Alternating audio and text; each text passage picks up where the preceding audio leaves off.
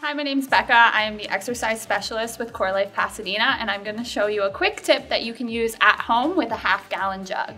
So one thing you can do is bicep curls, and you can do like three sets of 10 here. The other thing you can do is overhead press, where you're holding them here, pressing straight overhead.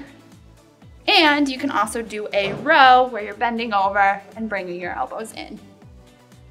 All of those can be done for three sets of 10, um, and that's your quick tip of the day.